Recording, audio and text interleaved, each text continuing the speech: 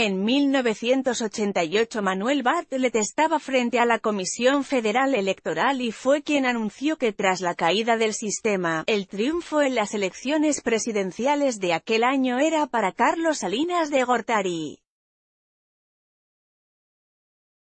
Y la semana pasada, el candidato electo Andrés Manuel López Obrador le dio el nombramiento como el futuro director de Comisión Federal de Electricidad. Y a raíz de que esto se diera a conocer, las reacciones no se hicieron esperar.